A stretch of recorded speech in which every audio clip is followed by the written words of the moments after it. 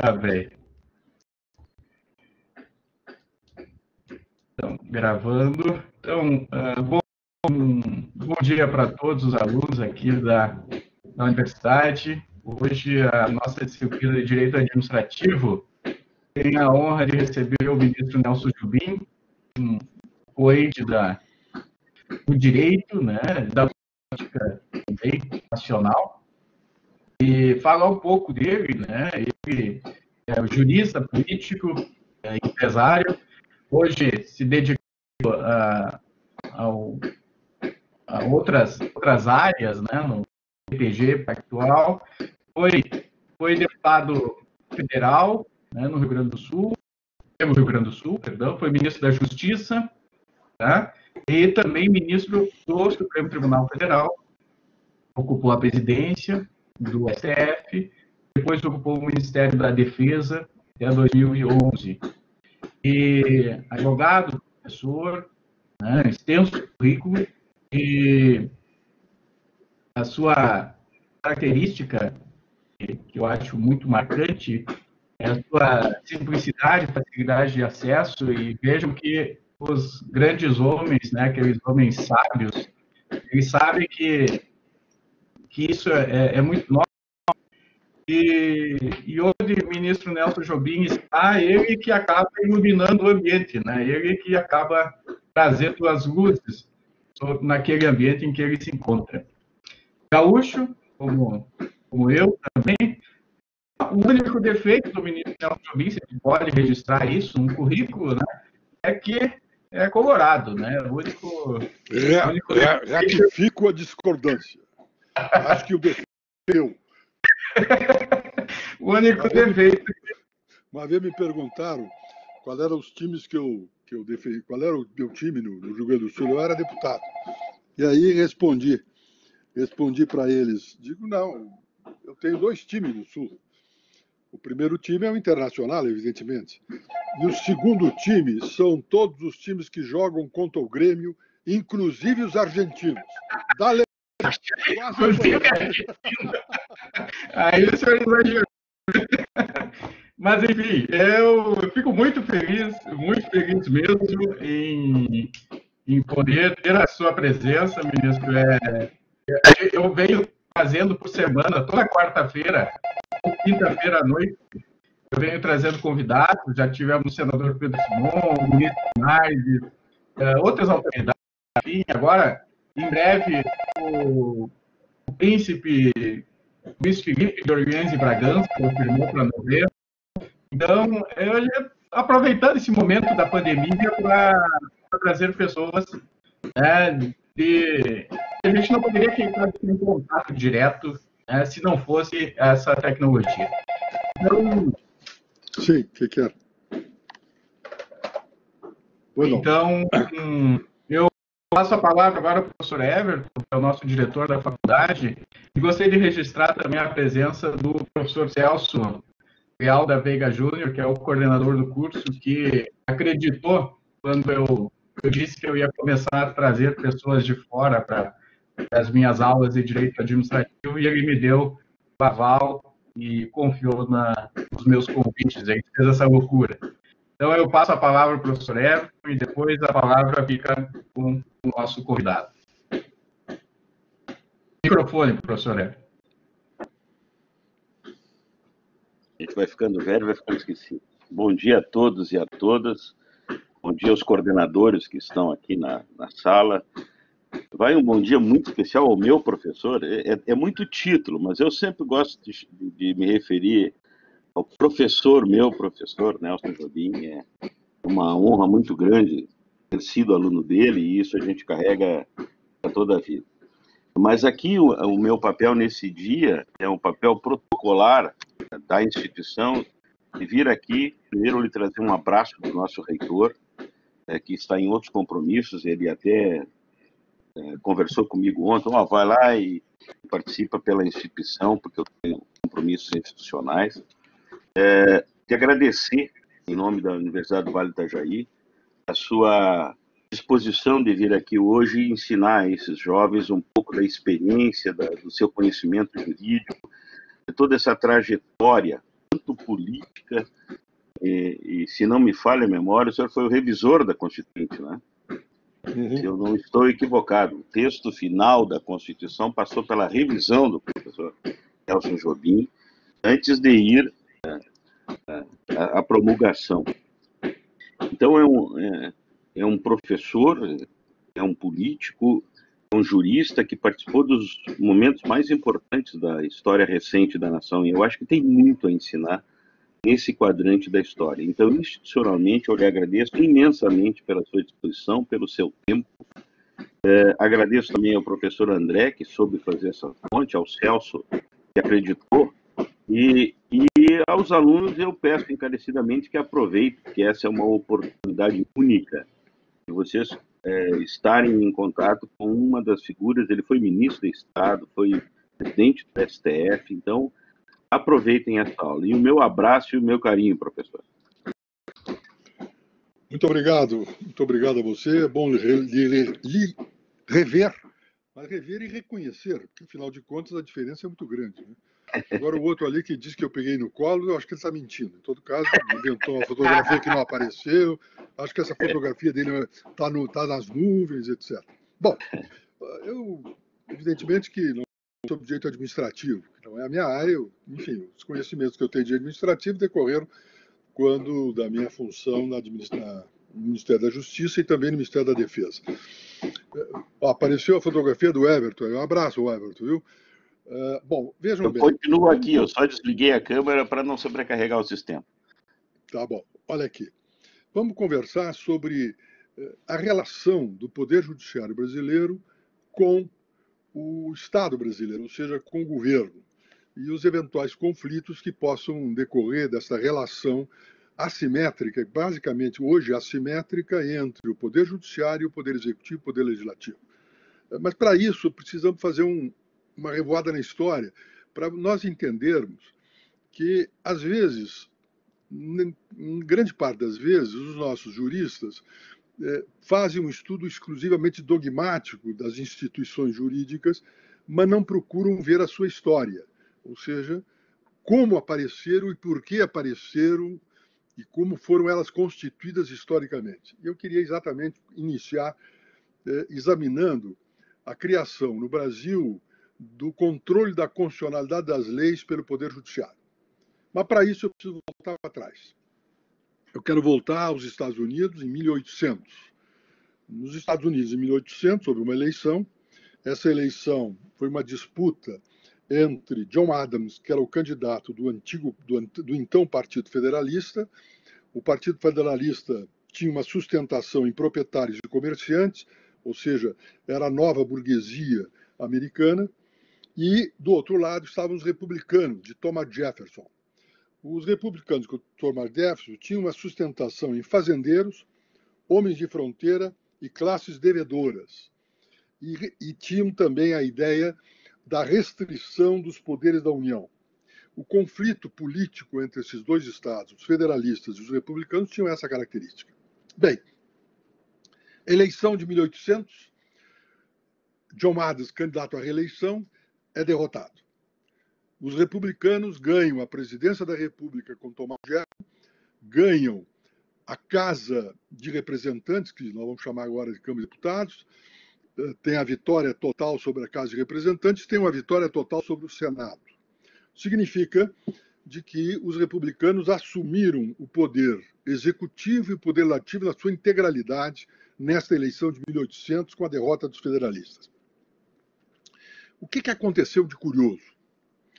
A posse de Jefferson, pelo sistema americano da época, era em março de 1880, 1801. Ou seja, as eleições foram no final de 1800. Teve, portanto, o Partido Federalista teve três meses, digamos, como um presidente derrotado e exercendo a função. E aí ocorre o seguinte: resolveram, então, os federalistas é, obter o domínio do Poder Judiciário americano. E aí ocorreu que passaram os federalistas, no final do seu governo, principalmente é, o Madison, o Alexandre Madison, que era o, o, secretário de Estado, uma espécie de chefe da Casa Civil do, do, do, do John Adams, o uh, Madison eh, resolve então nomear todos os juízes. E Adams nomeia vários juízes para as várias cortes americanas. Cria, inclusive, a, a, cria alguns tribunais e, portanto, os federalistas acabaram controlando a Câmara de Deputados, a melhora, o Poder Judiciário, com este avanço. E, além do mais, e finalmente, dias antes, dias antes de entregar o poder, eh, Adams nomeia para a Suprema Corte Americana John Marshall, grande, grande presidente Marshall, que era, por sua vez, secretário de Estado de, de Adams. Ou seja, deslocou Adams do Poder Executivo, aliás, deslocou Marshall do Poder Executivo e enviou para a Suprema Corte, como presidente da Suprema Corte, já que, pelo sistema americano, o presidente da República é que escolhe o presidente da Suprema Corte. Pois bem, assume Jefferson, nomeia Madison como, como, como aliás, nomeia Madison como John Madison como uh, chefe, uh, chefe da Casa Civil. E aí o que, que ocorre? Ocorre um fato completamente inusitado. O Marshall, o melhor Adams, havia nomeado dias antes, ou seja, pouco antes da posse, três dias antes da posse, ele havia nomeado como juiz de paz do Distrito de Colômbia William Mulberry.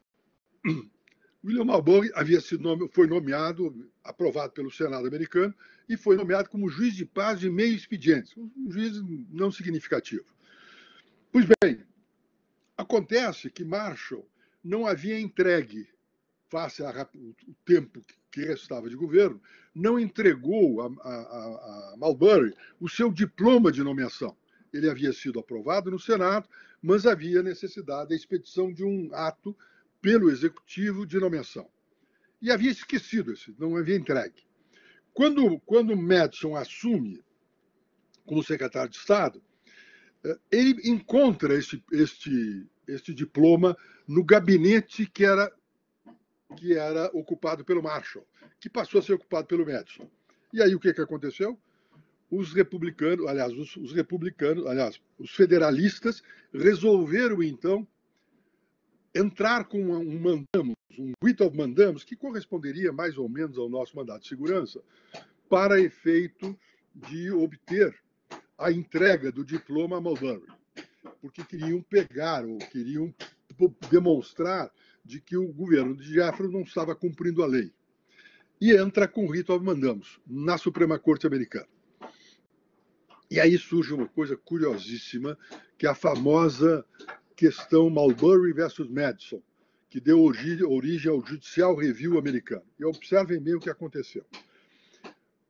Esse processo, esse rito of mandamus, vem a ser, na linguagem brasileira, relatado pelo próprio João Marshall, que é o que não tinha entregue o diploma para o, o.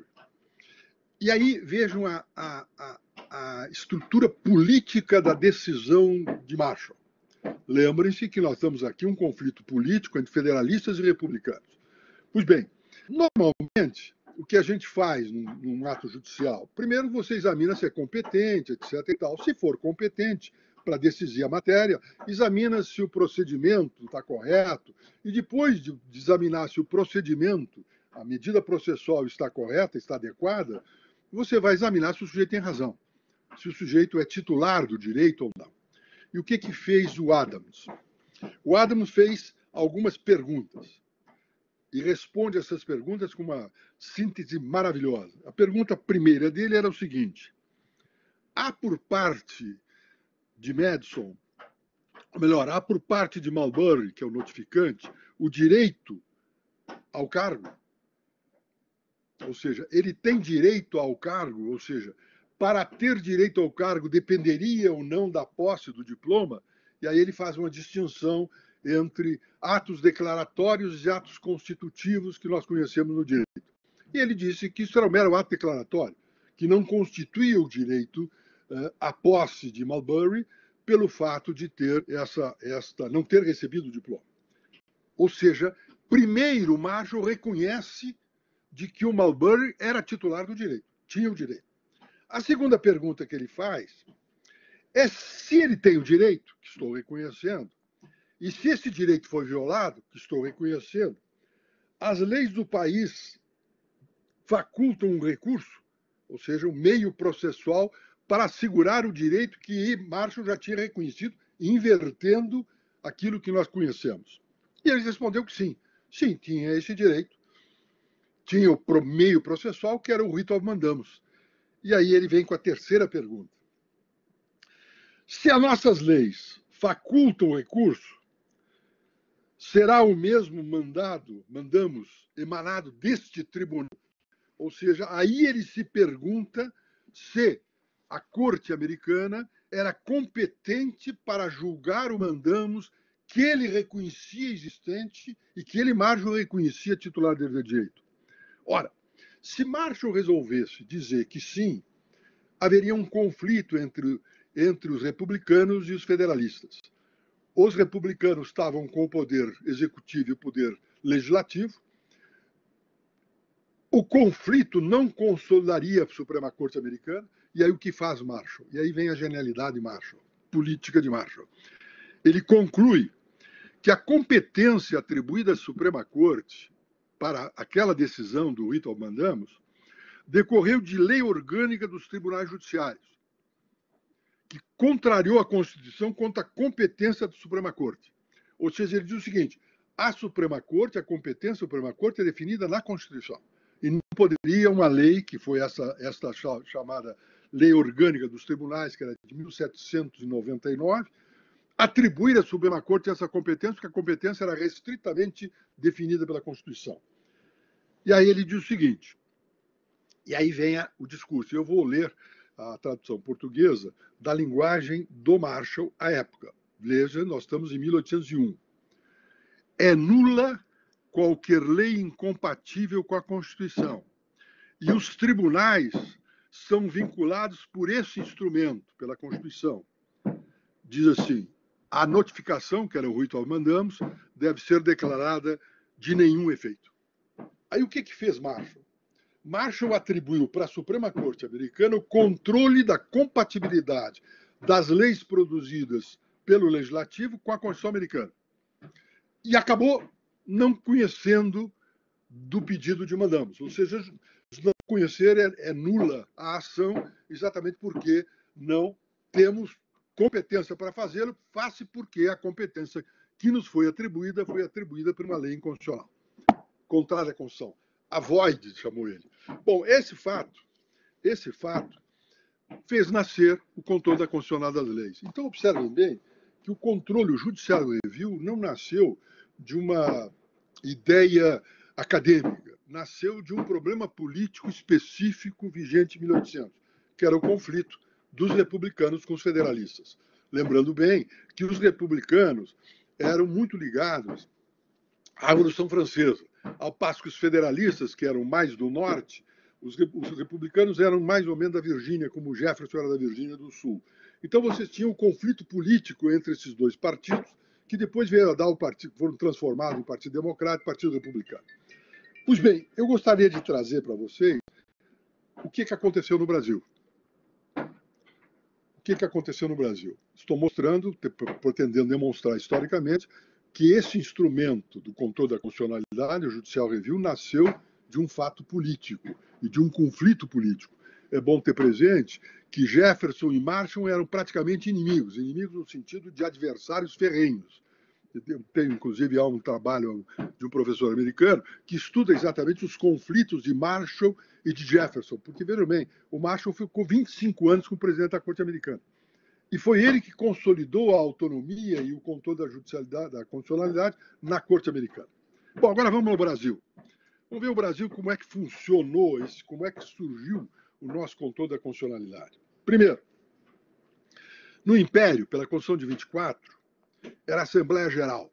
A Assembleia Geral era a Câmara dos Deputados e a Câmara do Senado reunidos em hoje chamado Congresso Nacional e que a Constituição do Império chamava de Assembleia Geral. Ou seja, o controle da legislação era exclusivamente legislativo.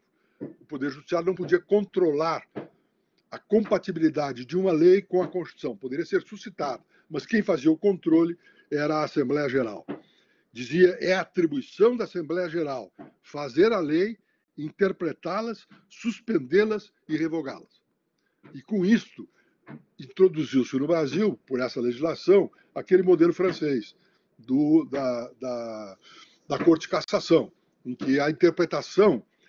Lembre-se que a Corte de Cassação na, na França surgiu logo após a Revolução Francesa como instrumento de interpretação da lei. E a Corte de Cassação era um braço da Assembleia Nacional Francesa. Ou seja, os franceses não, os franceses não quiseram entregar a interpretação da lei aos juízes. Por quê? Porque o, os quadros da Revolução Francesa não tinham juízes. A judicatura, a magistratura francesa da época era toda oriunda da, da, dos nobres, eram todas oriundas da, da nobreza, e não era oriunda da burguesia. Então, o que, que eles fizeram? Eles fizeram o Código de Napoleão e disseram assim: bom, agora esse Código de Napoleão vai ser interpretado por quem? Vai ser interpretado por eh, eh, juízes com a cabeça no ancião regime. Logo, nós precisamos impedi-lo que eles interpretem. E aí surgiu então a figura do referrer obrigatoire, ou seja, quando um juiz tinha dúvidas sobre o conteúdo da lei, ele não podia interpretar. Ele fazia o seguinte: ele fazia, remetia isto para a Corte de Cassação, que era primitivamente um braço da Assembleia Nacional, depois ele se transformou em corte, e essa corte é que fazia a interpretação. Interpretado, ele determinava que essa interpretação, a interpretação o juiz aplicasse no caso concreto, seja qual fosse a aplicação que desse. Bem, então era controle tipicamente legislativo. O Poder Judiciário era neutro nessa situação, por origem, origem francesa, decorrente de um problema político. Eu quero lembrar para os, para os amigos que quando a gente estuda filosofia do direito, aliás, vocês, nós estudamos a interpretação do direito. E lembrem-se que nós discutimos a primeira escola de interpretação, que era a escola da exegese. E fazemos críticas, o professor de filosofia fazia crítica à escola da exegese, dizendo que aquilo era uma desnaturação, porque o juiz não era a boca da lei. A escola da exegese sustentava o seguinte: le juge c'est la bouche de la loi, ou seja, era a boca da lei. Ele tinha que dizer a lei não podia fugir da lei. Tinha que ser exclusivamente aplicador da lei. A escola da exegese foi também um instrumento dos revolucionários franceses para evitar que a magistratura francesa, vinculada ideologicamente ao regime, pudesse passar o regime, o regime do ancião regime, as situações jurídicas do ancião regime, por cima ou por baixo do Código Napoleônico. E com isso, dizia: olha, vocês não têm responsabilidade. A, a responsabilidade pelas consequências da aplicação da lei é da lei, não de vocês. Daí surgiu o critério da irresponsabilidade dos juízes. O preço que a Revolução Francesa pagou para esse acordo, esse ajuste político, foi transformar os juízes em responsáveis. Não tinham responsabilidade pelas consequências da sua decisão. Por quê? Porque as consequências da sua decisão eram consequências da lei, já que a decisão era nada mais nada menos que a aplicação da lei. Essa é a origem do sentido da irresponsabilidade dos juízes no sistema francês. Bem, eh, no Brasil, além do controle, eh, do controle legislativo, que foi em 1824, nós tivemos a reforma, a reforma de 1834, que foi o ato adicional. Lembre-se que foi consequente ao início da regência, quando houve, quando houve eh, a, queda, a queda do imperador. Pois bem, no ato adicional, também ficou essa competência. Aí estabeleceu-se no ato adicional a possibilidade de leis estaduais, provinciais.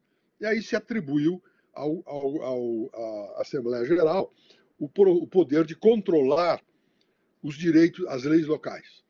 Ou seja, teve-se ainda concentrado no, na Assembleia Geral o controle da, da constitucionalidade das leis. Até que veio Posteriormente, com a queda da com a maioridade, com o chamado golpe da maioridade, que foi a, a, a ascensão, a, a, ascensão de Dom Pedro II, e criou-se na lei de interpretação, ainda como competência da Assembleia Geral, o poder de controlar as leis que ofendessem a Constituição. Isto durante todo o Império, de 1824 até 1891. Quando veio a República, nós tivemos um problema político sério. E aí eu vou misturar um pouco, eu estou misturando política com legislação, com direito, para vocês entenderem que as coisas são casadas. Embora alguns nossos professores não estudam a história política e começam a achar que aquilo é uma produção acadêmica, etc. Não é verdade. Observem bem. Em 1800, quando houve a República, quando houve a, a, declaração, a declaração da República, 15 de novembro, na verdade, e a história conta isso, embora hoje um pouco oculta, de que inicialmente o Marechal Deodoro não queria derrubar o Império. Ele queria derrubar o gabinete liberal do Visconde Ouro Preto. Lembrem-se que depois do ato adicional, melhor, depois da reforma eh, posterior ao ato adicional, o governo do Imperial era um governo mais ou menos parlamentarista. Havia um gabinete e um chefe de gabinete, que seria o primeiro-ministro. Bom, esse primeiro-ministro, na época, era liberal, era o Visconde de Ouro Preto, que tinha conflitos com o Exército Nacional. E os conflitos do Exército Nacional, usando uma linguagem moderna, estão vinculados a é, condicionamento, ou, melhor, vinculados ao problema do orçamento, em que hoje você faz uma, uma como é que a gente chama isso? É, não é condicionamento, é quando você é, é tinha vinculação, mas você reduz a possibilidade de gasto. Estabelece um contingenciamento. O contingenciamento. Menor. O contingenciamento orçamentário de hoje era um conflito que havia entre o Gabinete Liberal de, de, do Ouro Preto e o Ministério e o, o, o, o Exército Nacional. A derrubada era do gabinete do Visconde de Ouro Preto e a pretensão do Marechal Deodoro era que o gabinete liberal do Visconde do Preto fosse substituído pelo conselheiro Saraiva, que era conservador. O conselheiro Saraiva, que fez a lei de 1881, nova lei eleitoral, etc., que era um sujeito importante na época, conservador, ligado às Forças Armadas. No entanto, houve lá uma intriga feita por Benjamin Constant Botelho de Magalhães, o coronel, que era presidente, que era professor da escola militar e também era republicano, fez uma intriga que acabou, e essa intriga foi uma disputa entre o Marechal Deodoro e o senador Gaspar da Silveira Martins, existente desde a época que o Marechal tinha sido comandante das forças imperiais no Rio Grande do Sul. É, o Botelho de Magalhães, Benjamin Constant, comunica ao Marechal que o, que o imperador desceria no dia 16 para o Rio de Janeiro, ele estava em Petrópolis, e nomearia como presidente uh, do Conselho de Ministros o senador Gaspar Martins, que era inimigo filagal por razões que aqui não interessa contar, embora sejam curiosas, porque era uma questão de relações amorosas e de conquistas amorosas do Rio Grande do Sul. O Marechal Deodoro, então, resolve derrubar o Império. Então, no dia 16, datado do dia 15, vem o decreto da derrubada do Império. E aí começa ou seja, o império e nasce a república. Ou seja, os republicanos recebem a república no braço de um golpe militar. Os republicanos eram minoritários. O Partido Republicano tinha surgido em 1870, com a declaração do Partido Republicano, em relação a tudo isso. O que, é que acontece? Vence a discussão subsequente de como implantar o regime republicano. E aí surge uma, uma divergência entre dois, dois lados positivistas, de posições positivistas do Brasil. O apostolado positivista do Brasil, do Rio de Janeiro, que era liderado pelo Miguel Lemos, sustentava que o Marechal Deodoro, o governo provisório, deveria outorgar a Constituição Imperial. E ponto. Aliás, a Constituição Republicana. Deveria outorgar a Constituição Republicana e a República começaria com um ato outorgado pelo o Marechal Deodoro pelo governo provisório. Já os positivistas gaúchos, liderados por Júlio de Castilhos, sustentaram a convocação de uma constituinte. Acabou, na verdade, acabou vitorioso a posição de Júlio de Castilhos. Mas surgiu um problema. Surgiu um problema. Como se elegeria esta nova constituinte brasileira, que depois de ter feito a Constituição transformar, devia seria em Senado e Câmara, como seria eleita. E o problema que surgiu era político. se fosse eleita pela legislação vigente, que era a legislação do conselheiro Saraiva, o risco que os republicanos corriam era que essa Assembleia Constituinte fosse composta por membros do antigo Partido Liberal e do antigo Partido Republicano. Aliás, do antigo Partido Conservador, que eram os dois, dois grandes partidos do Império. Ora, neste caso, uns imperialistas, liberais ou conservadores, iriam ter elaborar uma Constituição Republicana, ia dar confusão. E aí o que, que aconteceu? Aí vem outra solução política. É, Resolve-se, então, alterar o sistema eleitoral. E o sistema eleitoral, naquela época, era um sistema distrital majoritário, que havia nascido com a lei dos círculos do, do, do, do Barão do Paraná, do, do, do Marquês de Paraná, em 1850, que depois evoluiu até chegar a 1891. Eleição direta com distritos eleitorais. Cada estado, cada província tinha se dividido em distritos eleitorais e cada distrito eleitoral de cada província elegia diretamente um deputado. Mas essa solução era péssima. Por quê? Porque os distritos eleitorais seriam os distritos eleitorais desenhados à época do Império e os partidos que disputariam ali dentro seriam os conservadores, os liberais e o Partido Republicano, que era a minoria, que era um bando de guri, digamos assim, usando a nossa linguagem daí. Aí o que fez, fizeram? O conselheiro Alvim faz, então, o regulamento Alvim disciplinando a eleição para a Assembleia Constituinte. E como é que ele, qual é a montagem que ele faz? Vejam, a, a, a, digamos, a engenharia eleitoral. Vamos examinar, por exemplo, o Everton. De que, que, que município tu é, Everton? Nasceu aonde? Everton é de Santa Maria.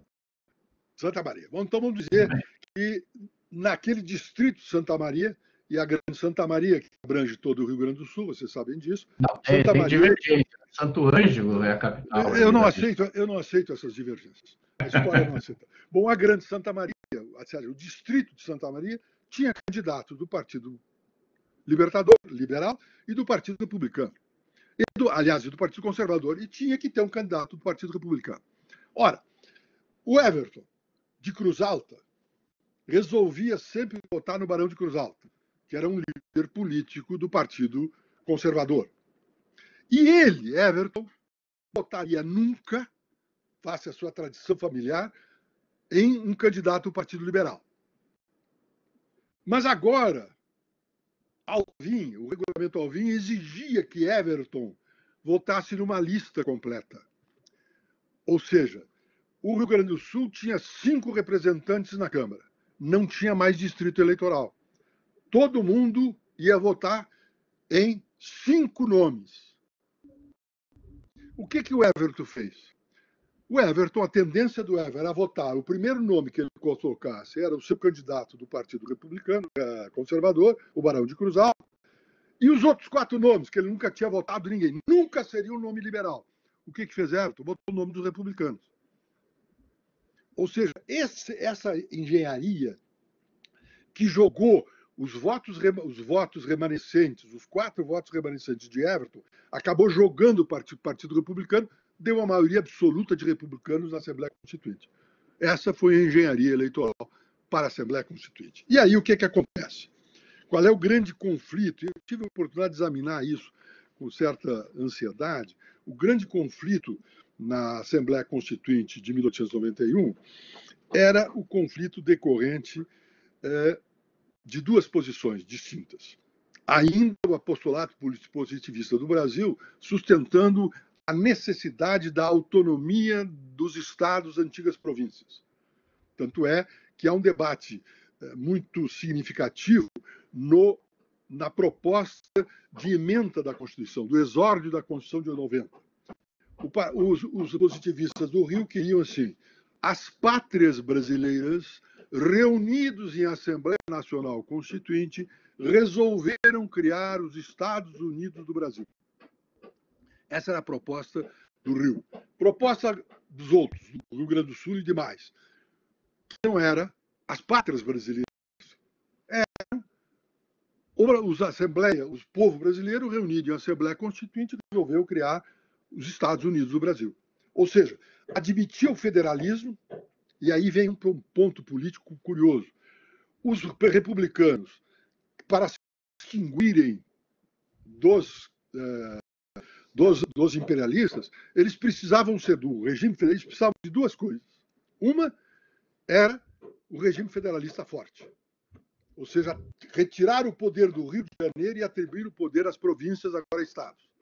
Tanto é que deram o nome aos governadores de hoje, deram o nome de presidente dos estados. Lembra-se disso. E se deu ainda uma série de poderes aos, aos estados, inclusive de ter relações exteriores. Mas os federalistas de Júlio de Castilho estabeleceram a unidade nacional, dizendo o seguinte, criando como cláusula pétrea da Constituição de 91 a federação. A federação não era para evitar que o, o país voltasse a ser um país unitário. Era para evitar o que pretendiam os, os republicanos do Rio, ou seja, os positivistas do Rio, que era transformar, viabilizar que os estados pudessem decidir se desligar da União, transformar em estados federados, estados uh, soberanos. Esse foi o grande conflito. E o que, que acontece? Cria-se, cria-se, portanto, nesse momento, cria-se o governo dos estados, passaram a ser eleitos, as assembleias legislativas já existiam, cria-se também um poder judiciário estadual e esvazia-se o poder da União para assegurar a, federação, que era a via de assegurar a República. Bom, o que, que acontece? Surgiu uma dificuldade, e aí surgiu a dificuldade que é identificada claramente nos debates da Assembleia Constituinte de 1891, que eu tive a oportunidade de ler lá na Câmara de Deputados, quando eu era deputado. O que, que, o que, que se passa lá? Passa-se o seguinte: os republicanos perceberam que tinham dado autonomia legislativa grande, capacidade legislativa grande às assembleias legislativas estaduais. Tinham criado um poder legislativo, poder judiciário estadual, e que tinham transformado eleições para o presidente, da, presidente da, da, do Estado em eleições diretas. Aí o que, que fizeram os republicanos? Surgiu o seguinte problema: a legislação feita pela União vai ser aplicada pelos estados. Os estados, por sua vez, terão legislação própria também. Surgirá a hipótese de um conflito da legislação estadual com a legislação federal, ou seja, uma invasão de competência dos estados. E quem é que vai aplicar isso? A justiça estadual. Percebeu a, o dilema? E aí o fruto da separação, do autonomismo, começaria a nascer por força do conflito político do presidente do Estado, ou da Assembleia do Estado, com a União. Aí o que, que eles fizeram? Criou-se o Supremo Tribunal Federal. E o Supremo Tribunal Federal, na Constituição de 91, só tinha uma tinha, além, além de várias funções, o Supremo Tribunal teve duas, tinha duas funções básicas. Uma era o segundo grau, era o Tribunal de Justiça da Justiça Federal, que continuou existindo. E eu advirto mais: a Justiça Federal era para ser, era para ser eh, não existir na Constituição de 91. No entanto, a magistratura brasileira, que era toda ela oriunda do Império, não admitiam se submeter aos Estados, que iam ficar com a União. E aí, que tiver a solução encontrada, foi criar a Justiça Federal, para que a, magistratura uh, imperial do regime anterior fosse acolhida pela Justiça Federal. Aí eles criaram o Supremo Tribunal como um órgão revisor, um órgão de apelação das decisões da Justiça Federal. E, ao mesmo tempo, criaram um mecanismo de controle da constitucionalidade das leis estaduais. Observem bem, a Constituição 91 não fala em momento algum sobre controle da constitucionalidade das leis das leis é, Diz assim, ó, ao Supremo Tribunal compete, na Constituição 91, das sentenças da Justiça dos Estados. Em última instância, haverá recurso para o Supremo Tribunal quando se questionar sobre a validade ou aplicação de tratados e leis federais. Ou seja, controlava das leis federais por sobre a justiça estadual. E ainda, cabia esse recurso, que na época era recurso ordinário, chamava-se isso, recurso constitucional, contestar a validade de leis ou atos dos governos dos estados em face da Constituição e das leis federais. Ou seja, o controle da constitucionalidade criado em 91 era um controle da constitucionalidade exclusivamente das leis federais, das leis estaduais, Mas, atrás do Supremo Tribunal, quando houvesse uma decisão contrária à lei federal de um, de um Estado, teria recurso ordinário, recurso constitucional para o Supremo Tribunal Federal. Mas, então, observe, o controle constitucional das leis no Brasil iniciou em 91 exclusivamente para manter a União Nacional, ou seja, controlar o autonomismo dos Estados, via uma Corte Federal, que é o Supremo Tribunal Federal, que tinha esta função estabelecida na Constituição Federal. No entanto, aí surge uma coisa curiosíssima. Não tinha, portanto, pela Constituição 91, você não tinha o controle da constitucionalidade das leis federais. Correto? Você só tinha o controle da constituição das leis federais, estaduais e não das leis federais. E aí surge uma coisa curiosíssima.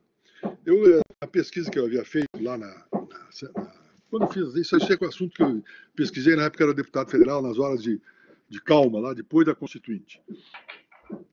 Acontece que em 1894, ou melhor, ou melhor em, já depois da Constituição de 91, em setembro de 91, o Campos Salles era ministro da Justiça do governo provisório. E aí o Campos Salles envia um projeto de lei para atualização e complementação da Justiça Federal da República. Porque essa Justiça Federal da República havia sido organizada antes da Constituição 91. Houve, havia um decreto de 1890 que, que organizou a Justiça Federal para problema transitório. E agora ele chegava um texto para complementar aquela organização, já que a Justiça Federal havia sido reconhecida na Constituição 91. E ele dizia o seguinte, ó, sobre a Justiça Federal, observem bem, o discurso feito por Campos Salles no Senado Federal, e naquela época os ministros de Estado faziam a apresentação das leis perante o Senado, ele diz o seguinte: é ao Poder Judiciário Federal que pertence resolver os conflitos provocados pela invasão das legislações locais. Diz ele assim: o Poder Judiciário intervém como guarda de fronteira para evitar que um Estado invada a fronteira do outro. Tinha lá um, no texto tinha o projeto, mas o controle da Justiça Federal sobre a Justiça dos Estados. Mas não havia nada sobre o controle das leis federais. E aí eu examinando lá, pesquisando, li o projeto e li a lei, que é a Lei 221 de 1894. E na Lei 221 surge um texto. Um texto que não está no projeto de Campos Salles. O texto diz o seguinte, que é o, que é o artigo 13, parágrafo 10. Os juízes e tribunais apreciarão a validade das leis e regulamentos e deixarão de aplicar aos casos ocorrentes as leis manifestamente inconstitucionais e os regulamentos manifestamente incompatíveis com as leis ou com a Constituição. Ou seja, a Lei 221, pelo parágrafo 10 do artigo 13, ele introduz e dá competência à Justiça Federal o controle da constitucionalidade das leis federais. Aí, quando eu vi esse negócio, saí atrás para ver como é que essa coisa tinha aparecido. E puxa para cá, puxa para lá, fiz uma longa pesquisa dos anais da Câmara, do Senado, melhor, e aí encontro que este texto decorreu, foi aprovado em setembro de 84 no Senado, decorreu de uma emenda do deputado Amaro Cavalcante. É um deputado, Amaro Cavalcante, é um deputado do, nascido no Rio Grande do Norte, mas na época o Rio Grande do Norte ainda não existia, ele foi eleito por Pernambuco. E este Amaro Cavalcante apresenta esse eu não encontrei, confesso a vocês, nos anais o debate sobre a aprovação da emenda. Só encontrei, encontrei a emenda, o, a proposta do, do Amaro Cavalcante. E aí se introduziu, por força de Amaro Cavalcante, se introduziu no Brasil o controle da constitucionalidade das leis federais, em, em concreto, no caso concreto. Quando havia aplicação, então o, o juiz. Agora, por quê? Qual é a razão política? Aqui tem uma hipótese minha. Qual é a razão política de alguém atribuir, ou seja, o próprio legislativo atribuir a um outro poder o poder de controlar a constitucionalidade das, das leis produzidas por ele? Entenderam o problema? A, a Câmara de Deputados, aliás, o Congresso, estava atribuindo ao Poder Judiciário, ao melhor, à Justiça Federal, o controle da constitucionalidade da lei. A lei feita por quem? Por eles mesmos. Estava transferindo aquilo. Por que isso? E aí eu fiz alguns estudos e lancei uma hipótese não conclusiva. Ou seja, não posso afirmar que isso seja verdadeiro. Ainda é uma hipótese, mas eu estou indo atrás disso. A, a, hipótese que eu lanço é a seguinte: é, o Amaro Cavalcante foi advogado, eu fui atrás da, da biografia do Amaro Cavalcante. O Amaro Cavalcante se formou em Albany, nos Estados Unidos, e advogou perante a Suprema Corte Americana. Vejam que ano ele, ele foi. Ele, ele teve lá nos Estados Unidos em 1889, ou seja, ele assistiu e viu os efeitos do conflito do Partido Republicano com o Partido Federalista de 1801. Sabia daquilo e viu e assistiu, ou melhor, sabia do, da, da, do surgimento do Judicial Review por Marshall. Qual era o problema político que eu acho, hipótese minha, que estava na cabeça de Amaro Cavalcante, que era um jeito genial. Depois foi ministro supremo, inclusive. O Amaro, raciocínio meu, percebe o seguinte: a Assembleia Constituinte havia sido eleita majoritariamente republicana com base no regulamento Saraiva. Teríamos eleição em 1894. Ou seja, teríamos eleição, aliás, em 1898 teríamos eleições no Brasil. Teríamos eleições para a renovação da Câmara e do Senado. Qual era a lei que seria aplicada? Esse é o regulamento Alvim. Teria que ser o quê? Lei que voltasse ao modelo imperial. Qual era o risco que ocorria se a legislação eleitoral ficasse estável? O risco que corria é que os liberais, antigos liberais, os antigos conservadores imperiais pudessem ser maioria no novo Congresso Nacional. Perceberam? E, e se fossem eles maioria no novo Congresso Nacional, o que, que ocorreria? O que, que poderia ocorrer? Poderia ocorrer que liberais e conservadores aprovassem leis contrárias ao modelo republicano, fazendo passar por baixo da Constituição de 91, um, digamos, ideias oriundas do ancião regime, do regime imperial. Com isso, o que, que se fez? Uma lei dizendo que se essa legislação for contrária à Constituição, passa o Supremo Tribunal Federal ser o quê? O guardião da República. Perceberam bem? Ou seja, o Supremo, do meu ponto de vista, tendo em vista esta, esse surgimento todo e a Justiça Federal, passaram a ser, naquele momento, o que? Os guardiões da República, para evitar que o Congresso Nacional produzisse leis contrárias à Constituição Republicana. Essa é a tese que eu, que eu tenho, a hipótese que eu lanço, e que ainda não tem uma demonstração empírica clara. Mas é uma tese, é uma tese interessante. Pelo menos faz sentido. Ao menos isso. Né? Ao menos isso. Muito bem. Aí começa, começa o procedimento. Corre, corre as coisas uh, de forma tranquila, vem a, de, a emenda constitucional número 26, mantém o mesmo modelo do controle da constitucionalidade das leis estaduais, já que as leis federais, o controle da constitucionalidade estava com a Justiça do Estado.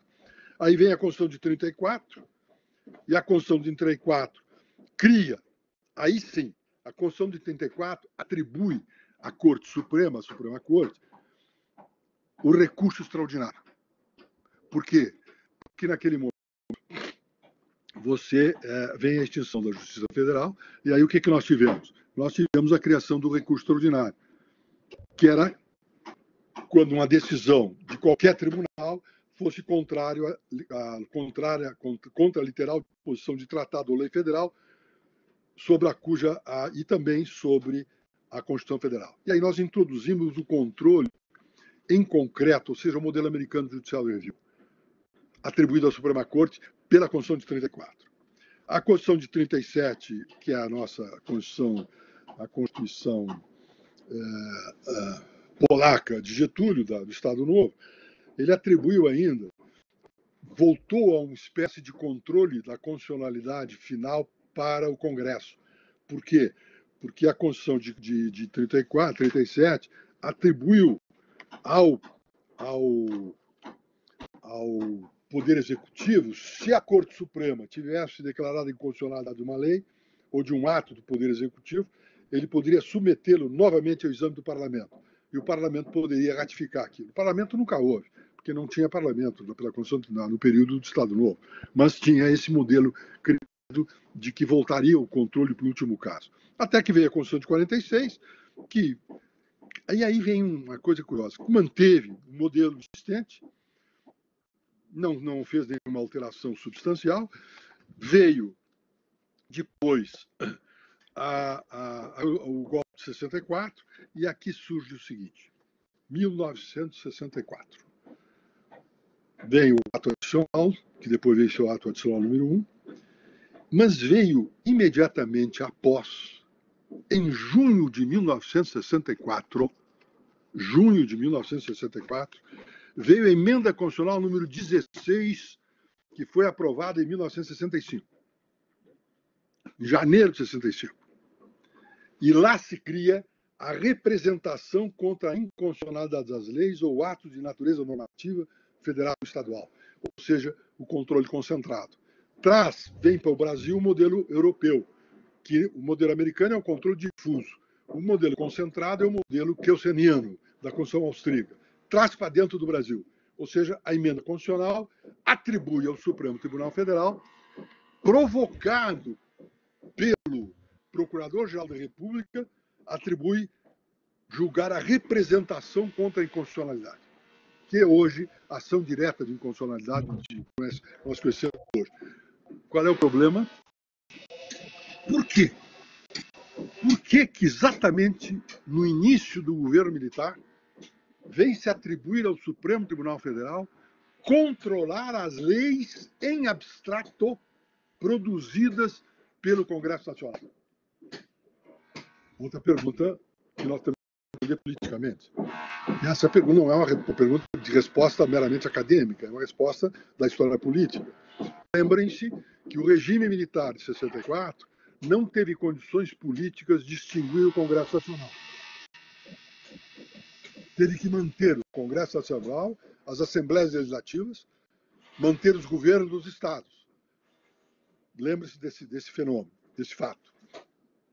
Ora, mantendo o Congresso Nacional, nós teríamos o quê? A possibilidade das oposições que se organizavam contra o regime militar começar a produzir legislação contrária aos interesses do regime militar. O Procurador-Geral da República, à época, era membro do gabinete do presidente da República. Lembre-se que naquela só em 88 isso mudou. Mas naquela época, em 64, o Procurador-Geral nada mais era que o chefe do Poder do poder do poder do procurador, Procuradoria Geral da República e era também advogado da União. A AGU só surgiu em 88. Ele era advogado do presidente da República, integrava o gabinete, participava das reuniões de gabinete. E por que se atribuía a ele, unicamente a ele, a representação de constitucionalidade? Porque era para manter os interesses do governo contra as eventuais oposições que viessem a ser vitoriosas no Congresso Nacional. Faz sentido essa afirmação? Politicamente faz sentido. Ou seja, o procurador-geral, instruído pelo governo, entra com a representação de constitucionalidade contra uma lei que o governo perdeu dentro do Congresso. E lembrem que quando, posteriormente, o governo, o governo militar alterou a composição do Supremo, fez aquela aposentadoria compulsória de três ministros do Supremo, o Vitor Nunes Leal, o Hermes Lima e o grande advogado. Bom, vem o nome. É, bom, aposentou esses três e nomeia, indica para membros da Suprema Corte aquela que nós chamamos a banda de música da UDN, que era o Alomar Baleiro, o Bilac Pinto e o, o Adalto Luz Cardoso.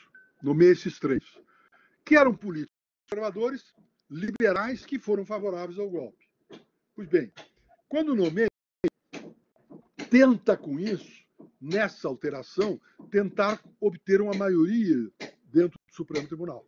Perfeito? E aí acontece um fenômeno. Acontece que esses três eram antigos políticos liberais e absolutamente autônomos.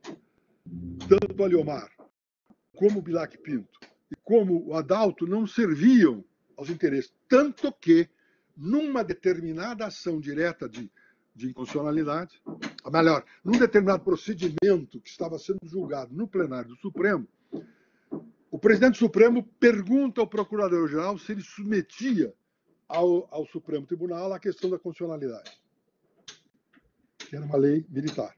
Aí o, o, o diz o procurador, não, eu não submeto. E aí o presidente do Supremo, não tendo submetido, não pode o Supremo apreciar a constitucionalidade. Aí o Adalto fez aquela cena, tirou a, a toga, disse que era impossível, que o, o tribunal ficava cerceado, etc, etc. E aí começou a surgir, digamos, uma espécie de repúdio a, essa, a esse modelo. Pois bem, esse modelo permaneceu durante todo o regime militar. Foi alterado quando? Foi alterado quando veio a Constituição de 88. Na Constituição de 88, alterou-se substancialmente o modelo e aí se criou o quê?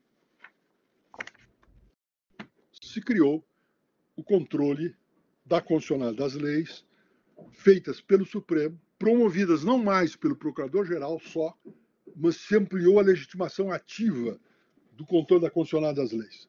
Se, se ao presidente da Câmara, à mesa da Câmara, à mesa do Senado, ao procurador-geral continuava, ao presidente da República via AGU, aos partidos políticos e às organizações nacionais e sindicatos. O que significa que o controle, que a, a provocação do exame da constitucionalidade saiu da área só da área política e entrou também na área fora dos, dos órgãos de governo, do executivo e do legislativo. Se transferiu também para uh, os partidos políticos que tivessem representação no Congresso e também para, ou seja, os partidos eventualmente derrotados. Então, com isso, nós passamos a ter uma ampliação do controle da constitucionalidade das leis e com isso nós avançamos. Eu acho que eu já estou, já estou. Quanto tempo falta aí? Não, tá bom, tá aí, tá tranquilo. Tá, mas tá, estão aguentando essa conversalhada toda? Pode bom, continuar. Observem bem. Isso, essa evolução política, e lembre-se que o Procurador-Geral, na Constituição de 88, deixou de ser o advogado da União e passou a ter uma autonomia. O Ministério Público tem uma autonomia decorrente do modelo constitucional de 88. Ele é um fiscal, um guardião da Constituição para provocação, etc., e da moralidade, etc., etc. Com alguns exageros, inclusive, em alguns casos. Pois bem, nesse, nessa hipótese, o que, que nós tivemos? Nós tivemos uma ampliação enorme da participação eh, do Poder Judiciário na formulação política. E aqui, então, para encerrar isso aqui, eu faria uma breve síntese daquilo que se chama a judicialização da política e suas causas. Feito esse desenho,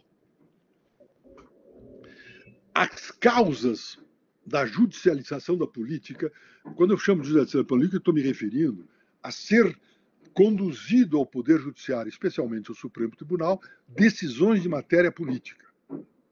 Por que, que esse fenômeno passou a, existir no Brasil? Em primeiro lugar, a Constituição de 88 constitucionalizou uma série de direitos sociais e econômicos. E surge na academia, e você conhece mais do que eu isso, surge na academia aquela tese do controle da constitucionalidade das políticas públicas. O que, que significa isso? Significa de que as políticas públicas têm que implementar em concreto os direitos sociais e econômicos existentes da Constituição. Observe bem, aqui nós temos que fazer uma leve, leve distinção nos chamados direitos fundamentais. Você tem três tipos de direitos humanos ou fundamentais, como quiserem. O primeiro são os direitos civis e políticos, que surgiram posterior à Revolução Francesa que eram os direitos que surgiram até o século XIX, em que você tinha o direito de, de a, o, digamos, a universalidade do voto, o direito de ir e vir, que eram primeira direitos, geração. que é o que primeira primeira geração. É. Bom, esses direitos, observem bem, eram direitos cuja satisfação independia de uma de uma prestação. eles se davam, a satisfação se dava pelo mero, mero exercício. É aquilo que os alemães chamam de Kannrecht, direitos-poder, ou que os italianos chamam de direitos potestativos. E nós falamos de direitos potestativos, em que tu exerce o poder e outra parte tem que submeter o teu exercício. Não precisa de uma prestação. Estes direitos sociais e políticos, os, aliás, os direitos políticos, civis e políticos, surgiram nesse momento. Quando surgiu, após, após começou o processo socializante, da, digamos, dos partidos socialistas no final do século XIX e também em causa da Revolução Russa, começa a surgir também outro tipo de direitos, que são os direitos econômicos sociais. Com a diferença fundamental que os direitos econômicos sociais são direitos cuja satisfação depende de uma prestação. Depende da capacidade do Estado de dar a prestação. Direito à habitação, direito à alimentação, direito à saúde, etc. São direitos que dependem de receita pública. São distintos. Não são direitos absolutos, são direitos relativos. Absolutos os primeiros, porque exercido eles satisfazem, e os direitos relativos são os direitos que dependem de um ato do obrigado, ou seja, a prestação um autor italiano eh, faz uma análise curiosa, eh, que é o Giovanni Sartori, dizendo o seguinte, de que no período eh, com o Estado, com a universalização do voto, ou seja, quando nós saímos daquele modelo do voto censitário, em que só votavam aqueles que pagavam imposto, e por que, que só votavam aqueles que pagavam imposto, que foi a decisão da época da Carta Magna, é porque aqueles, a decisão dos parlamentos era saber quanto de dinheiro daria para manter a coroa. Então, por isso, eles tinham que votar, porque eles decidiam problemas tributários. Bom, quando veio a universalização do voto, os não contribuintes, diz o autor italiano, passaram a ser representados dentro dos congressos. No momento que os não contribuintes e os contribuintes começaram a manter-se dentro dos contribuintes, mantendo-se, os não contribuintes sendo eleitos, os não contribuintes levaram para dentro das assembleias a pretensão à satisfação dos direitos econômicos e sociais. E aí diz o nosso, o nosso Giovanni Sartori que aí a, a, a democracia entrou em déficit, que foi o que ocorreu antes daqueles modelos posteriores, uh, anteriores a Reagan, a, a, a primeira-ministra inglesa, Margaret Thatcher, etc., que foi aquele modelo da, da, do da desaparecimento, a redução do estado de bem-estar social, que levou ao déficit da Europa, inclusive. Pois bem, há uma confusão, portanto. Eu só fiz essa reticência para dizer que nós temos que tratar os direitos econômicos e sociais nas mesmas condições dos direitos civis e políticos, não porque depende da satisfação de uma prestação. E a prestação depende da capacidade do país de financiar isso. Veja um problema que nós estamos vendo agora com essa história da renda, da renda cidadã, que é uma necessidade, e como é que vamos fazer? Temos que encontrar uma saída. Enfim, mas não importa, não vamos falar sobre isso. Bom, então temos a constitucionalização dos direitos sociais e econômicos, uma das causas, digamos, da judicialização da política. Eu derrotado no Congresso, eu começo a manipular, digamos, a capacidade do, do, do Supremo de controlar a constitucionalidade das políticas públicas do Executivo. Nada mais é do que políticas sociais e econômicas. E também, em alguns casos, das políticas financeiras. Outra coisa, que também é causa da judicialização, foi essa ampliação da ação direta, das várias ações diretas que surgiram. Não só a direta de inconstitucionalidade que apareceu com a Constituição de 88, depois com a emenda constitucional posterior, ação direta de constitucionalidade. Terceiro, ação de descumprimento de, de, de, direito fundamental, mandado de junção que tem pouca, pouca eficácia, por, por enquanto, nesse momento, com essa ampliação da concepção de controle de políticas públicas, poderão o mandado de junção começar a surgir com mais eficácia. A terceira causa é claramente política. O modelo político brasileiro, eleitoral brasileiro, é, depois de 88, começou a se esboroar. Ou seja, as, as, a, o pacto político anterior a 88, e que deu inclusive a eleição de 88, e que deu a eleição de 86, e que deu aquilo que eu nego de forma absoluta, mas os constitucionalistas me batem no rosto, dizendo, não só no rosto, mas me batem para dizer que isto é um absurdo, porque é, dizem que os constituintes de 1988 eram constituintes originários e, portanto, ah, não eram derivados. Só que tem um problema histórico aí complicado. Os constituintes originários de 1986, eleitos em 86, foram eleitos as regras vigentes da emenda constitucional número 1 e ainda em decorrente de uma emenda constitucional à emenda constitucional número 1 de, de 69. Ou seja, os constituintes derivados eleitos em 1982 convocaram os constituintes originários de 86 é um negócio que no Brasil não dá para explicar bem direitinho. Na França isso funciona, porque a história é diferente. No Brasil nós temos um processo de acomodação e não podemos importar esses modelos. Aí eles tentam dizer, não, a emenda constitucional que convocou a Constituinte foi a ruptura necessária. Tudo é conversa, é diálogo para esconder o processo histórico e político.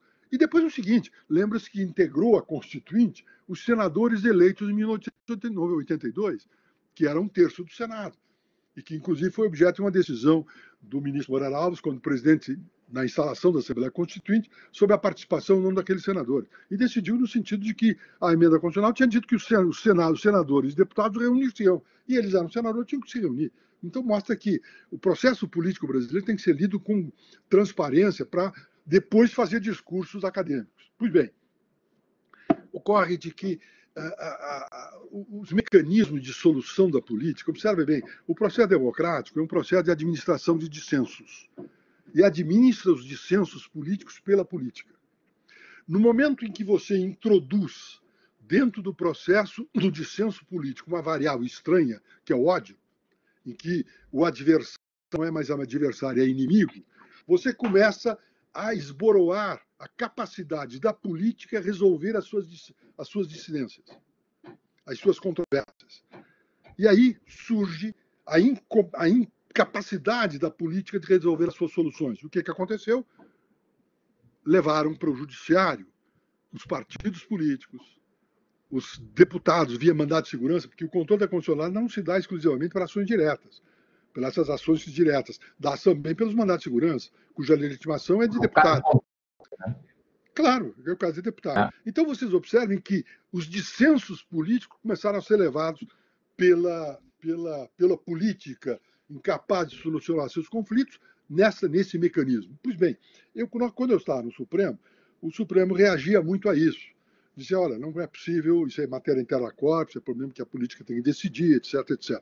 Mas a coisa começou a ser, a ser digamos, aumentada, começaram a entrar ações e ações e ações, e acontece que alguns colegas começaram a gostar disso, começaram a achar interessante, interessante uh, começar também a discutir políticas públicas, pela não usando essa linguagem direta, mas discutir políticas públicas. E começaram a achar, inclusive afirmar, em alguns casos, de que era absolutamente necessário que isso ocorresse. Lembrem que e aí começa a, a outro lado da moeda que é o chamado ativismo judicial. Eu estou falando em judicialização primeiro. Vamos falar rapidamente sobre ativismo em seguida. Até eu ia me questionar a respeito do ativismo judicial, era um Sim, questionamento. Eu estou primeiro focando Sim. de como a política se foi para dentro do tribunal. Isso, Perfeito. as causas dessa, dessa acessibilidade. Se deu, então, pela, pela constitucionalização dos direitos sociais, pelas ações diretas e a legitimação ativa aí também dos mandados de segurança, deu-se também pela incapacidade da política resolver as suas conversas e passar a eleger primeiro o Tribunal Eleitoral para resolver as controvérsias, depois o Supremo. O Poder Legislativo, o próprio, o próprio Poder Executivo começou a ter dificuldade de implementar suas políticas e começou também a recorrer ao Supremo para isso. E aí tem uma coisa importante. O Poder Legislativo para tomar uma decisão, precisa formar maioria. Maioria ou relativa, ou absoluta, ou maioria qualificada, não importa, mas precisa fazer maioria. Ou seja, só é aprovável dentro da Câmara e do Senado um texto que forme maioria, correto? Acontece que com essa pulverização de partidos políticos nós temos no Brasil, nós temos 19 partidos no Congresso, e, e partidos que têm uma, com uma alteração substancial na funcionalidade da Câmara, principalmente da Câmara. Eu chamo atenção a isso. Eu coloco um, um divisor de águas. Antes desse divisor, e chegarei lá, a Câmara de Deputados tinha uma estruturação de, de funcionalidade política da seguinte forma: você tinha os deputados, você tinha os líderes partidários que formavam o colégio de líderes, você tinha o presidente da Câmara. Os líderes partidários tinham poder sobre os seus liderados. Por quê? Porque eles eram o veículo de acesso do parlamentar individualmente ao presidente da Câmara e ao governo. O governo recebia, marcava audiência para deputados, etc. e tal, desde que essa audiência marcava mas com rapidez se a audiência fosse pedida pela liderança do partido. Então, o deputado sabia que dependia do líder para conseguir acesso aos parlamentos, ao governo para reivindicações de coisas absolutamente lícitas, construção de ponte, desenvolvimento da sua região, etc, etc.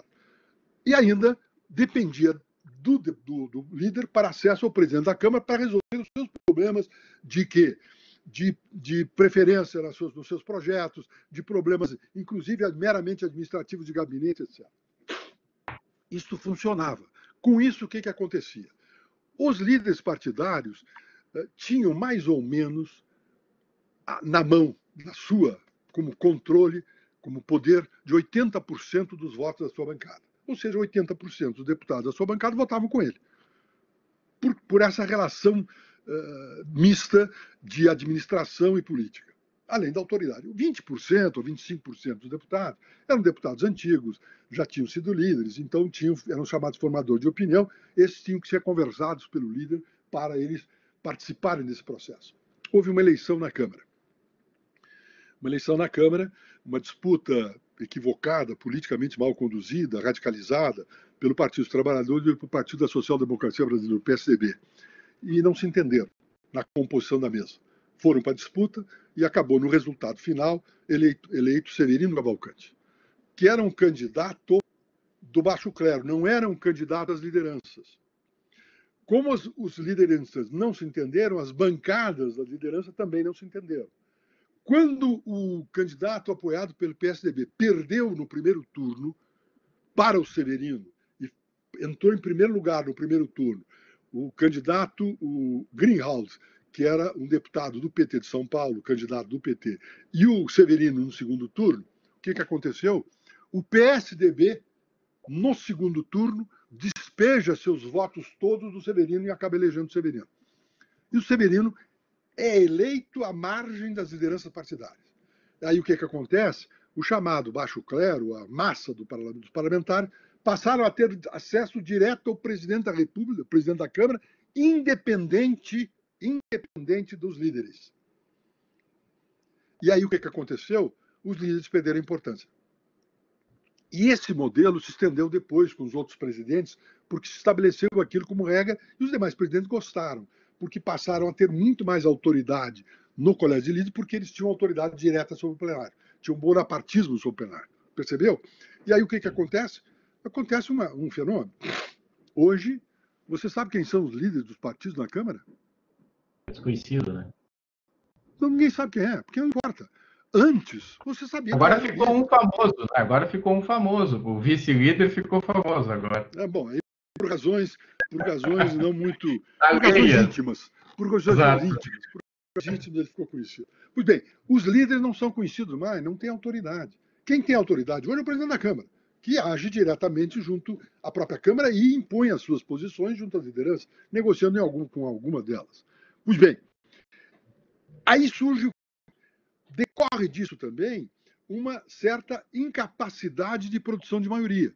Como é que você vai produzir maioria se você não tem um líder que tem 80% dos votos dessa maioria? Perfeito. Além dos, das negociações políticas, um dos preços que já apareciam na, já em 88, para a produção da maioria, era você produzir legislações ambíguas. Se você, para conseguir aprovação da matéria, você não podia ter textos absolutamente límpidos e claros. Você tinha que ter uma ambiguidade, porque essa ambiguidade conseguia produzir a maioria. Eu vou dar um exemplo uh, que eu participei. Na época da Constituinte, havia um debate sério entre dois setores sobre o, o, sobre o repouso semanal remunerado, direitos dos trabalhadores. Havia um grupo de empresários, aqui liderados por São Paulo, as confederações de, de empresários, sustentando de que o repouso semanal remunerado seria, deveria ser regulamentado em acordo coletivo de trabalho ou dissídio coletivo. Acordo, contrato de trabalho ou dissídio coletivo. Ou contrato de trabalho ou uh, dissídio, uh, contrato coletivo de trabalho.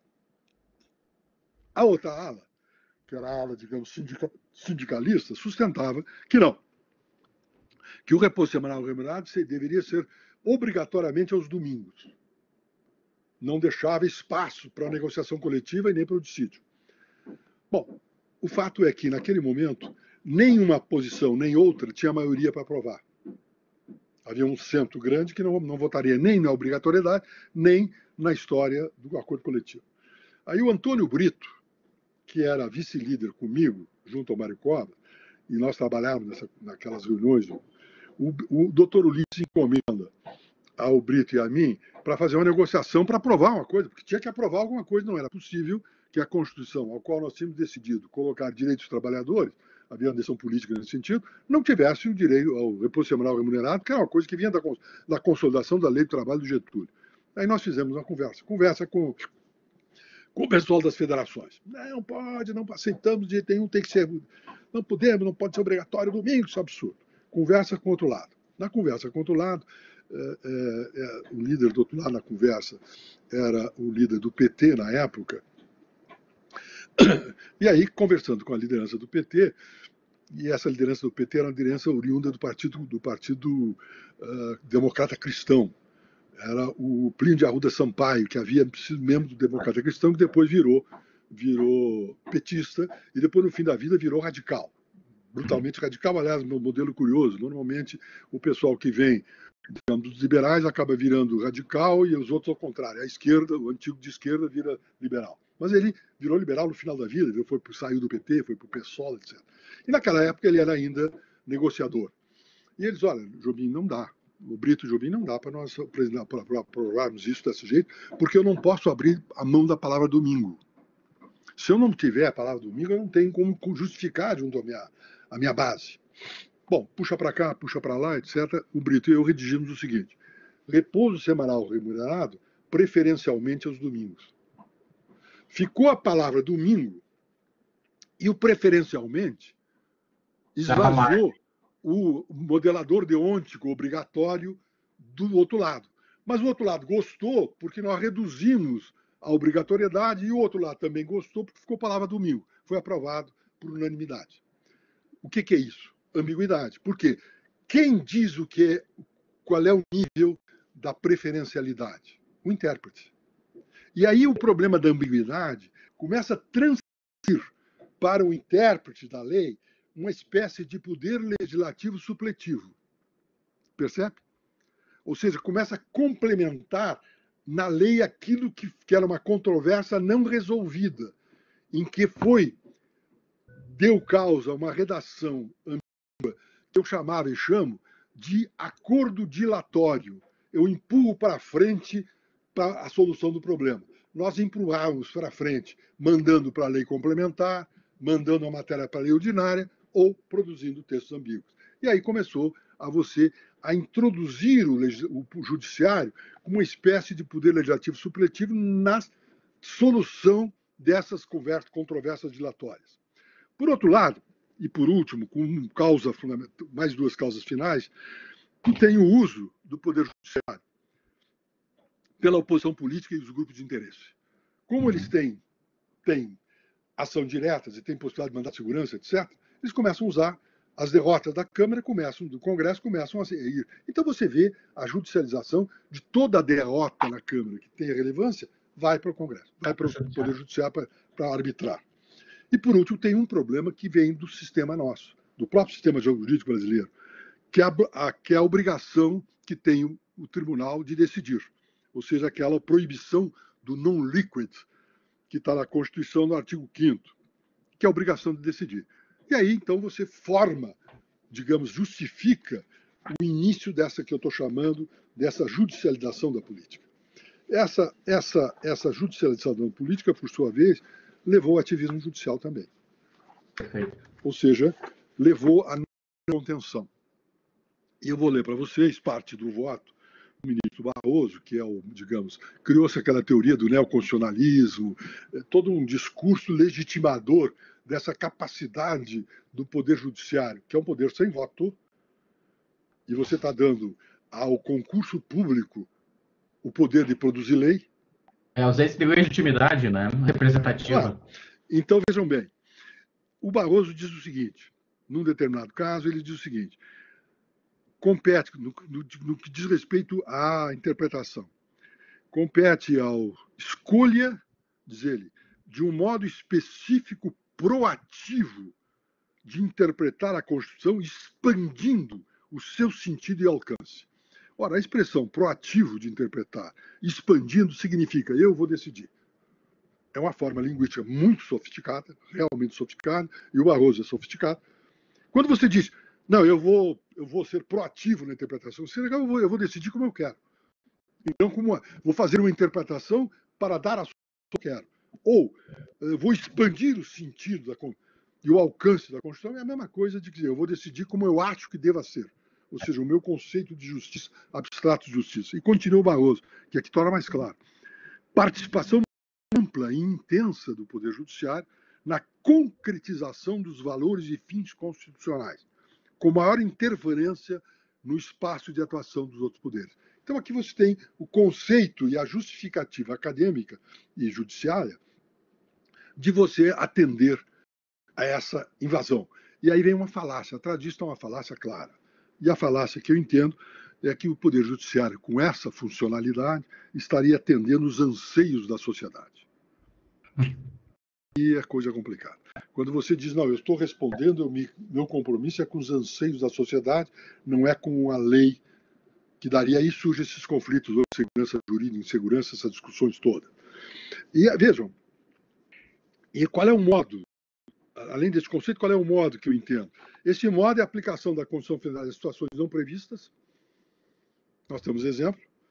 O problema é, da fidelidade partidária, o problema da cláusula de barreira, que foi criada e depois o Supremo deu pela inconstitucionalidade lá atrás, e essa, essa, essa inconstitucionalidade dada pelo Supremo deu a causa desses 19 partidos aí, e 35 partidos registrados não se deram conta que criação de partidos hoje é um bom negócio também, pode ser um bom negócio, já que os partidos com registro, claro, já que os partidos é. com registro no Supremo têm, têm a participação em 5% do fundo eleitoral, etc, etc.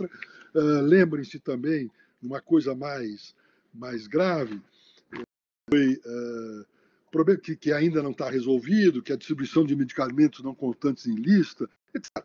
Bem, agora, Quais são as objeções que eu faço a esta? Falta de legitimidade democrática para decisão dessa natureza. É a politização do Poder Judiciário.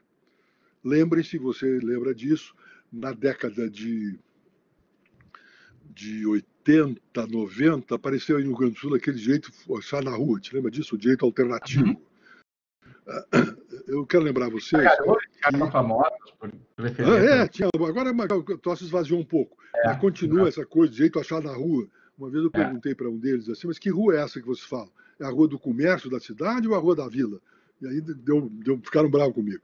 Politização do Poder Judiciário e tem ainda a incapacidade institucional, que eu entendo, do Poder Judiciário em certa matéria. Não entendem disso. Se você começar a envolver o Poder Judiciário em matéria de natureza econômica, em políticas públicas, financeiras e econômicas, é um desastre absoluto, porque não entendem disso. Dificilmente um, um membro do Poder Judiciário, salvo por tendo origem própria, sabe ler um, um, um balanço de empresa. E, é, e é. Eu aproveito para fazer um gancho aí da relevância da indicação e a indicação adequada, né, ao cargo de ministro, por exemplo, do STF, né? Porque ele é necessário ter um conhecimento vasto, né? Não unicamente do direito. Observa bem, tem um, um tema. é necessário ter isso, mas ter também outra coisa, que eu tenho sustentado. Uma coisa é você ter um conhecimento vasto do direito e tal, etc. Mas outra coisa que também eu entendo é que nós precisamos fazer uma, verificar uma coisa. No Supremo Tribunal, eu estou falando pela minha experiência, no Supremo Tribunal, você pode, digamos, fazendo uma tipologia tipo weberiana, você pode estabelecer dois, dois tipos fundamentais.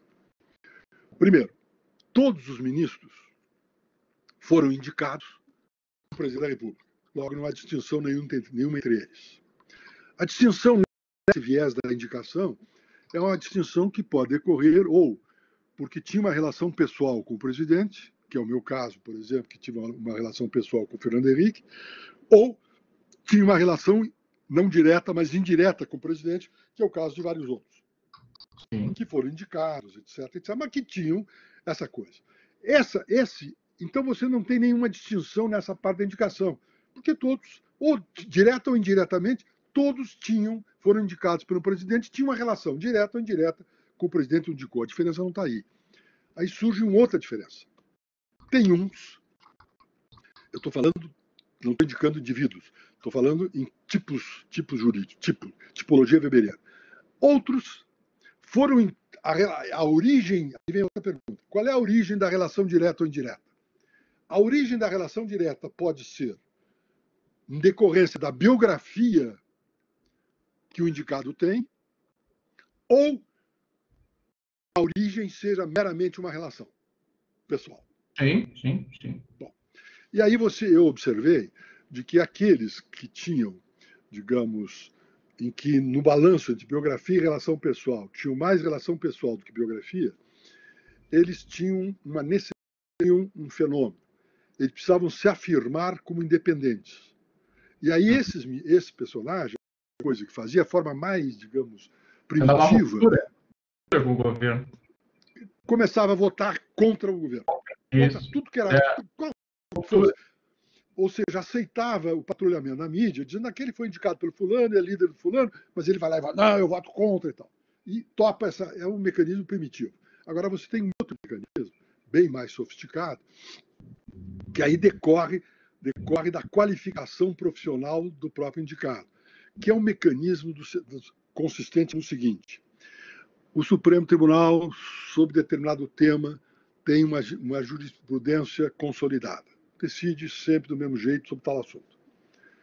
Como é que eu faço biografia? Inovando. Rompendo, é. essa jurisprudência, criando um novo leader case. Então, esse personagem que vai em que ou não tem biografia e só tem relações, ou o nível de relações é superior à sua biografia, ele precisa do tribunal para fazer biografia. E como é que ele faz a biografia no tribunal? Primeiro rompendo com o governo, que é uma forma primitiva. E você observa aí algumas coisas. O cara começa a votar contra, não sei o quê, antes fazia um discurso favorável, depois começa a fazer um discurso contrário, para formar sua biografia. E o segundo momento é exatamente o momento em que você começa a romper a jurisprudência do tribunal e tornar instável a jurisprudência. Por quê? Porque eu preciso, eu que não tenho biografia, preciso fazer a minha biografia com o novo ser o, digamos, o precursor, o pai do novo leader case, leading case. E aí, então você entende esse, esse mecanismo. Agora eu quero te dizer uma coisa: é, nós temos que aprimorar esse modelo de indicação. Agora eu sou contra que essa indicação decorra de listas feitas Sim. pelas categorias profissionais. Por quê? Porque eu aprendi, e aprendi muito claramente, de que as categorias profissionais negociam suas listas. É o corporativismo. Profissionais, o corporativismo toma conta e demais. Pretende-se com isso tomar o Supremo Tribunal, que é uma corte, eh, digamos, com compromisso da República, a ser uma corte, digamos, cooptada pelas corporações. Nós temos que ter muita cautela. O discurso parece extraordinário. Vamos fazer uma lista, etc, etc, e tal, oferecido pelos tribunais, não sei o quê. Observem, eu vou dar um exemplo para vocês quando nós decidimos, da Constituinte, por sugestão da OAB na época, o presidente era o Márcio Tomás Basso, de que o conselho, os conselhos da ordem deviam fazer a lista para o quinto constitucional. Antes eram os desembargadores que escolhiam a lista tríplice e o governador escolhia um. Aí nós criamos aquele negócio da lista cêspula a lista reduzida pelo tribunal e depois um indicado pelo presidente, pelo governador, o, o presidente, no caso do Tribunal Superior, fora o Supremo. Aí o que, que aconteceu? Quando promulgaram a Constituição, houve aí em Porto Alegre um, congresso da ordem. E eu era, tinha sido constituinte, era deputado federal na época, e sugeria a eles o seguinte: olha, vocês regulamentem isso proibindo que os conselheiros da ordem integrem as listas. Onde é que foi parar essa proposta? Não sei. Desapareceu.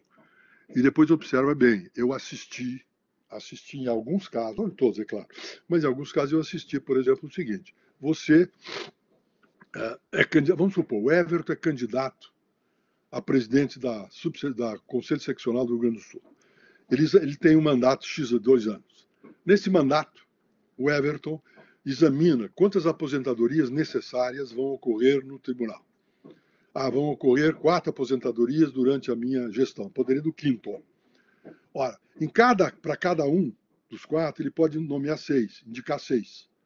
Seis vezes quatro, 24. Ou seja, ele poderá, mandato, indicar 24 pessoas. Mas ele precisa voto para se eleger presidente. Aí o que, que ele faz? Escuta, fulano, você foi professor da universidade, você tem uma grande, grande me apoia de voto eu te apoio. Isso que eu te. Ora, isso acontece, embora as pessoas neguem. Fica bem claro que negam isso.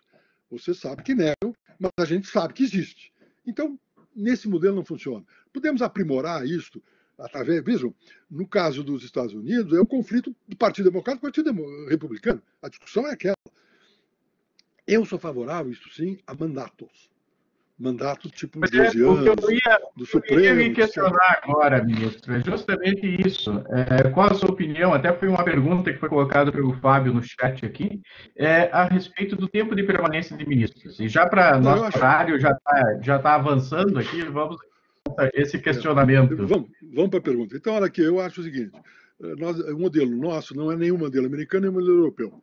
O nosso modelo é um modelo Miniquinha. de aposentadoria aos 75. Uh, o modelo americano é até a morte. morte uh, é. E foi introduzido, ou anteriormente era também até a morte, até a, enfim, desaparecer. Mas aí resolveu-se uh, criar um limite, porque houve um caso no Supremo de um determinado ministro que estava absolutamente doente, incapaz, mas que não saía. Não saía do tribunal, não pedia aposentadoria, inclusive eh, fazia necessidades dentro da própria bancada, porque estava mal. Aí eles criaram uma limitação. Bom, agora eu acho o seguinte, de que nós deveríamos ter eh, um modelo, nesse caso eu adotaria uma hipótese alemã, que é exatamente um mandato, um modelo europeu, um mandato não reeleito. Não pode haver reindicação, porque haver reindicação te dá problema, porque depois no final você começa a ser simpático a quem indica. Um mandato de 12 anos, com mudanças tu teria que fazer um, um cálculo, eu tinha feito esse cálculo algum tempo atrás, com uma mudança, digamos, é, de um terço do tribunal a cada tempo, para não fazer uma mudança total do tribunal num momento X. Sim, a cada 12 anos. Não, a cada 12 anos você começa a substituir. Ou seja, faz, uma, uma, uma, faz um cálculo, e é fácil de você fazer um programa de computador hoje disso, para estabelecer umas mudanças alternativas. Aí você teria uma limitação. Claro que essa limitação tem algumas coisas que têm que ser assumidas, que é o problema da aposentadoria desse, desse sujeito, que vai ser né? fora dos prazos, enfim, coisas dessa natureza. Agora, favorável também que seja uma indicação do presidente da República, sem condicionamentos, condicionamentos sejam esses, esses genéricos, eh, saber jurídico e conduta ilibada, etc., etc., que são genéricos de modo errados. Né? Você tem alguns, algumas limitações aconteceu com, com, com, com o, o Joaquim o Floriano Peixoto. Peixoto indicou dois, três médicos para o Supremo e foram rejeitados porque não tinham conhecimento jurídico. Vejam que não é obrigatório ter bacharel em direito, tem que ser notório saber jurídico. Então não tem esse condicionamento. Mas ele indicou médicos, né? é um absurdo. Aí foi rejeitado. Pois bem, continuaria esse modelo de indicação e nós teríamos, eh, digamos, talvez fosse, fosse importante aumentar o quórum. Uhum. O quórum no Senado Federal. O, Bundes, o, o Bundesrat italiano, alemão, aliás, o Bundestag alemão, que é a Câmara de Deputados, o quórum é de dois terços. para aprovação de ministro. Agora, tem uma característica curiosíssima que pouca gente sabe. A Corte Constitucional Alemã foi instalada depois da, da logo após a, a, Carta Fundamental de Bonn, a Constituição Alemã de Bonn. E aí, como é que foram compor? Dividiram a Câmara entre os dois grandes partidos. O Partido Socialista, o PSTU, e o Partido Democrata Cristão, que era o CDU, o PSTU, que era do, do, do, do Adenauer, e o partido do uh, Kurt Schumacher que era do PSD, PSDU, que era o Partido Socialista. E essa tradição se manteve. Depois, o Partido Social Democrata Cristão fez uma, um acordo político com o Partido Liberal, pegou uma das suas vagas ao Partido Liberal. Eu estava na, na, na, na Alemanha visitando o presidente da Corte, da Corte Alemã, junto com uma, uma comitiva de, de, de, de ministro Supremo, nós éramos três e mais uns desembargadores, etc. E o presidente Supremo, na época, que era o comandante do nosso grupo, perguntou ao presidente da corte alemã, era o, o Sidney Sanches, o presidente, perguntou ao presidente da corte alemã como é que era a, a indicação, como é que se indicava, etc. Aí o presidente contou e disse que ah, hoje vamos ter uma grande experiência este ano, porque o Partido Democrata Cristão indicou eh, fez um acordo com o Partido Liberal, um acordo político de apoio eleitoral. Um dos elementos era que a vaga da Suprema Corte, que corresponde ao Tribunal Constitucional, correspondia ao CDU, seria indicado pelo Partido Liberal. Puta, o Sidney entrou em pânico. O Sidney, que era magistrado de carreira, mas como a política e tal? Aí diz o, diz o alemão assim: não, veja bem, doutor, são duas coisas. Uma é que precisa ser aprovado uma maioria de dois terços do Bundestag. E nenhum partido, até então na história da Alemanha, conseguiu dois terços. Logo, o indicado pelo Partido Liberal tem que ter necessariamente o reconhecimento de parcela do Congresso, do, do, Bundestag, que chegue a dois terços, já que o Partido Liberal é minoritário. Então a indicação não é assim. E de outra parte, ele fez uma afirmação curiosa. E de outra parte, o, o senhor presidente, nós vivemos numa democracia de partidos. Ponto. Aí o Cid gelou. Né? Por quê? Porque a nossa visão aqui é uma visão conflituosa. Ou seja, as nossas instituições começam a, ter uma disfuncionalidade que conduz a isso. Então, respondendo especificamente a pergunta, mandato e indicação à mesa, poder executivo, sem condicionamentos, senão os existentes, e um, a qualificação do quadro. Poderia ser um quadro de dois terços ou, ou, três quintos, que é um quadro de reforma constitucional, uma coisa desse tipo. É, na, na verdade, na verdade, interrompendo rapidinho, é, é, esse, esse arranjo, vamos usar esse termo, não seria o mais adequado, mas essa, essa combinação, a gente não vê tanto nas vagas do, do STF, né? Mas a gente verifica, por exemplo, na, nos órgãos de controle, né? Os tribunais de contas, é, verifica essa questão desse arranjo, essa combinação, né, para indicação de vagas. É bem mais notório isso do que no Poder é, Judiciário. É, só que o Tribunal de Contas ficou dividido entre o, Executivo, o Legislativo e os auditores. Né? Isso, então, isso. no Executivo, a escolha primitiva, no, no Legislativo, há sempre uma combinação entre a Câmara e o Senado, dando a vaga para a Câmara, dando a vaga para o Senado. Hã? O descanso dos guerreiros. É, exato. Descanso é dos guerreiros. Então, uh, nesse, nesse caso, o modelo do Tribunal de Contas não é, não é adequado porque eu não é. gostaria de ter, por exemplo, uma lista feita pelo, pela Câmara para indicação Exato. do porque seguramente ia politizar isso. Então, deixa o presidente é. da República que tem uma responsabilidade mais ampla e tem também uma não necessidade de votos. Então, não precisa fazer negociações. Isso. Será que tem, evidentemente, a visão disso. Agora, o que eu voltaria a dizer é que nós precisamos ter eh, indicações, e essas indicações, com aprovação de maioria qualificada, poderia dar mais valor à biografia, do que a sua relação. Correto? Ministro, e aí não haveria necessidade de afirmar biografias perante o tribunal. É, no exercício da função. É. Ministro, eu, eu gostaria, não tenho palavras para lhe agradecer pela oportunidade. Tá? Eu acho que a gente conversou aqui, já vamos. Uh, eu, eu, eu, eu, disse para ti que eu invadi o teu sinal, tu não quis dizer.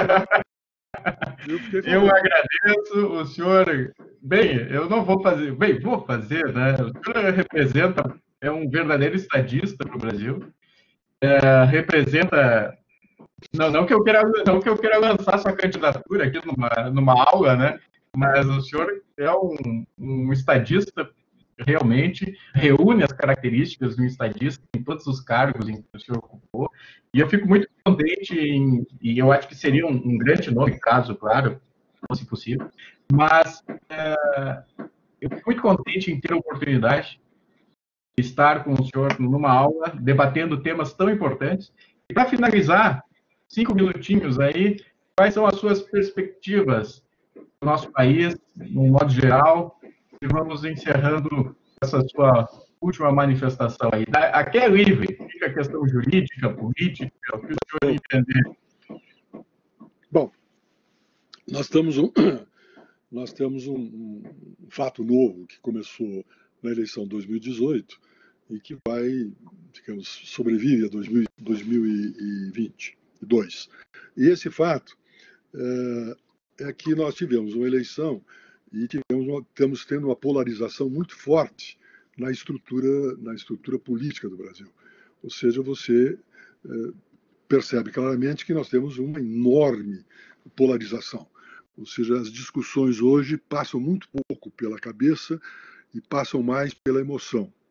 E aí você tem um detalhe que eu ainda tenho pensado sobre o assunto, mas não estou com conclusão nenhuma, só tenho, digamos, por enquanto, só tenho estupefação. É que a política mudou de lugar. Uhum. O lugar da política agora é as redes sociais. Uhum. Ou seja, o representado, o eleitor, se dirige, fala diretamente com o representante, o que esvazia a capacidade de decisão do representante, porque o representante depende desse voto. Então você começa a criar uma espécie, dá a impressão de criar uma espécie de mandato imperativo, no sentido de que o, eleitor, o representante não oferece ao seu representado a sua, a sua lucidez, mas oferece sim a obrigação de votar de acordo com a posição do representado. Isso é característico com o esvaziamento dos partidos políticos que eu referi, você tem a criação daquelas bancadas, bancadas temáticas em que a reunião daquelas bancadas é exclusivamente para atender os interesses da área temática. Não estou dizendo que esteja errado isso, que sempre houve, mas agora você tem bancadas temáticas montadas. Bancada evangélica, bancada bala, bancada disso, bancada daquilo, bancada da saúde, eh, tem a bancada da defesa, a Frente Nacional de Defesa, que eu criei na época, era ministro da Defesa, mas tudo isso lembra que essas coesões que essas bancadas têm são condições exclusivamente em relação ao tema que os uniu. Nada mais. E aí você tem um problema também que é, depende de uma atualização do nosso sistema eleitoral. Porque você tem. É, é, alguma coisa importante aconteceu depois das eleições de, de 2018, que é essas mudanças que fizeram, tópicas que fizeram no sistema eleitoral. Primeiro, proibição de coligações proporcionais. E segundo, o problema da participação no fundo eleitoral. Com isso, você tem dois instrumentos fortes para desestimular a criação de partidos e sim para deixar a fusão de partidos, ou seja, a redução de partidos. Eu vou ver como é que isso ocorre, qual é o fenômeno que vai se dar agora nas eleições municipais. Nós já vimos a consequência dessa legislação, que foi o seguinte: como não tem possibilidade de coligação proporcional, cada partido resolveu indicar um candidato a prefeito porque senão ele pode não eleger vereador.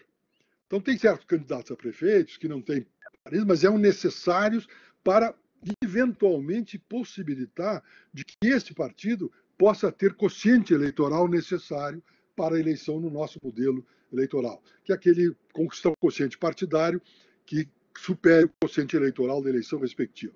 E aí, com isso, nós vamos ter uma redução de partidos para 2020, uma congregação. Não, vejam, alguns fazem uma crítica aos partidos políticos. Ah, não temos, não temos bandeiras ideológicas. O partido não é um centro acadêmico. O partido não é uma, uma entidade para isto. Já foi. É instrumento da democracia, né? Claro. É o processo. Agora, vejam bem. Com essa história de a campanha eleitoral e a, a digamos, a, a reunião, a comunicação do eleitor com o eleito é direta, você cria um fenômeno novo, que é a política ter mudado de lugar. A política saiu daqueles comícios que começaram a se esvaziar. Eu me lembro que eu antes, lá atrás, década de 70, ia nos comícios, assistia comícios, ou não participava dos comícios, queria conhecer o presidente da República. E quando começou a aparecer as propagandas eleitorais na televisão, reduziu o acesso do eleitor ao comício. Por que, que reduziu? Porque não precisava conhecer o, o candidato. O candidato já estava dentro da sua casa via televisão. E aí o que, que aconteceu? Para manter os políticos, as, os comícios, os partidos começaram a organizar as torcidas e levavam levavam levavam caminhão, ônibus para levar show, né? levavam, levavam o showmício para é. atualizar. Quer dizer, aquilo já foi uma consequência da introdução da televisão. Agora, a introdução das redes sociais muda completamente isto mais, a, a, digamos, afunila mais isso, que é algo que tem que ser examinado, ter sido discutido. Eu te confesso que eu não tenho, não, não, não tive ainda, estou ainda na hipótese de meramente colegindo dados, e eu tenho uma dificuldade, e tenho, digamos, por motivos, inclusive, de formação eh, acadêmica, cultural, eu tenho dificuldade de fazer raciocínios a priori. Eu gosto sempre de raciocínios, raciocínios empíricos.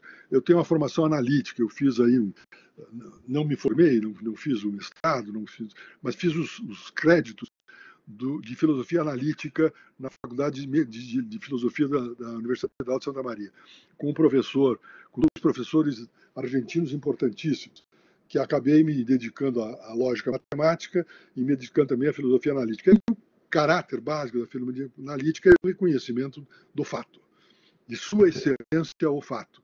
E algumas posições idealistas acham que o fato não existe. Então, eu preferia ainda continuar pesquisando essas coisas para fazer afirmações, não fazer generalizações, generalizações empíricas eh, convenientes para a minha eventual biografia. Fato é que eu acho que nós estamos num momento difícil. E lembra bem o seguinte, só um, rapidamente, lembra-se como é que um partido político escolhe os candidatos. A pergunta que faz o diretor, o presidente do partido, no, do Rio Grande, por exemplo, eleição estadual e federal, e também na eleição municipal, diz como é que eu ganho a eleição proporcional no município, no estado. Eu só ganho a eleição municipal no estado, porque não temos eleições nacionais para a Câmara de Deputados. Lembre-se que a Câmara de Deputados é uma assembleia dos estados brasileiros. Todo mundo diz que a Câmara de Deputados, os juristas dizem ah, a Câmara de Deputados é a Assembleia do Povo brasileiro. Não, não, é a Assembleia dos Estados brasileiros, porque as vagas são disputadas nos estados. E lá as bancadas estaduais funcionam. Pois bem, é, quando, como é que eu ganho a eleição? Aí o, o, o burocrata do partido diz para o presidente do partido: olha, você ganha a eleição fazendo o maior número de votos. Por quê? Porque para fazer o maior, fazendo o maior número de votos, você consegue. Lembre-se que os cálculos para a conquista de vagas é da seguinte forma: né? quantos, quantos eleitores compareceram na eleição e votaram? Total. Total do eleitorado que votou validamente. Divide pelo número de vagas. No caso do Rio Grande do Sul, 31 vagas para a Câmara de Deputados. Vamos supor de que esse 31 dá 150 mil votos. Uma vaga vale 150 mil votos. Aí continua o, o, o burocrata. Diz assim: olha, então o que, que acontece? Quando tivermos, pegamos depois os votos dados aos candidatos à nossa legenda, no meu caso, que eu sou do MDB, os candidatos do MDB, você divide pelo quociente eleitoral, que é o 150 e aí dá o quociente partidário. Se esse partido teve 1 milhão e 500 mil votos, ele fez 10 vagas. Quem foram os eleitos? Os matados da legenda do partido. Aí qual é a resposta? Do... Precisamos ter candidatos que produzam votos, porque o eleitor não vota no partido. A tradição nossa é votar na pessoa. Tem alguns que te dizem com orgulho: não, eu não voto em partido, eu voto em pessoas. Assim, é uma, mas é um discurso real. E aí o que acontece? Eu preciso, na minha legenda, escolher candidatos que produzam votos para aumentar o quociente partidário meu. Correto? E como é que eu faço a escolha? Para deputado estadual ou para deputado federal, primeira coisa que você vê aí no Sul, em todo o país, você vê a escolha de candidatos de categorias profissionais. Candidatos da Polícia Militar, da Polícia Civil. Advogado não é categoria, porque advogado não vota em advogado. É, mas Polícia Civil, presidentes de sindicatos. Eu me lembro quando a, Companhia Estadual de Energia Elétrica, a antiga Companhia Estadual, tinha uma, um sindicato fortíssimo. O presidente do sindicato da, da, da Companhia Estadual de Energia Elétrica, dos servidores, era disputadíssimo candidato. Lembra que teve um deputado que depois desapareceu, mas que se produzia assim. Então eu escolhia candidatos que pudessem produzir votos. Esse primeiro, primeiro candidato era para buscar os votos da categoria. Qual era o compromisso que ele tinha com o partido? Nenhum. Ele tinha compromisso com a categoria que lhe deu voto. O policial militar, o candidato a policial militar, tinha a obrigação de deduzir os interesses da Polícia Militar, porque ele representava os interesses da Polícia Militar. Não estou dizendo que seja ilegítimo, mas esse era o interesse que ele representava.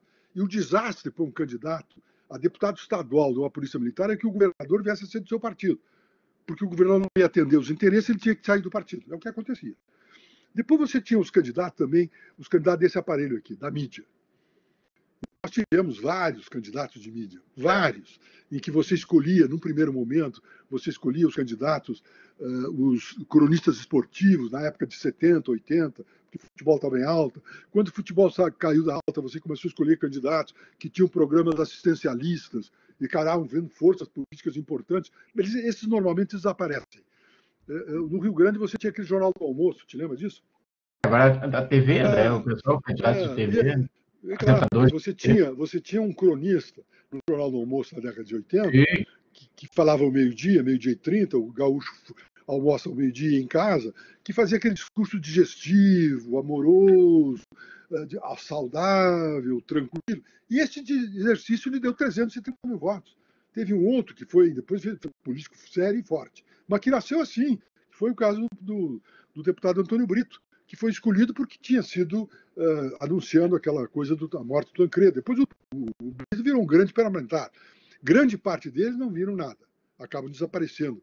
Alguns já desapareceram na, na coisa e tu lembra de alguns, não vou citar nomes. Depois você tem ainda os candidatos regionais, que eram os candidatos para atender os interesses da região. Com a concentração da renda pública, da receita pública na União e dos orçamentos, é necessário você ter representantes regionais dentro da Câmara para votar orçamento, aplicações de áreas e obras, etc, etc. Então, com isso, você tinha a incapacidade, a, a impossibilidade de você ter uma fidelidade partidária. Os primeiros eram fiéis à corporação que lhe deu voto e aos seus interesses. Os segundos eram fiéis a si mesmo, porque eles eram os produtores de voto, considerando a posição de mídia que tinha. E os terceiros é. eram fiéis à sua região. Eu me lembro que teve um colega meu na Câmara, quando se discutia o negócio do mandato do presidente Sarney, diz: olha, eu não posso votar pelos quatro anos do presidente Sarney, mas tem que votar pelos cinco anos, porque aqui.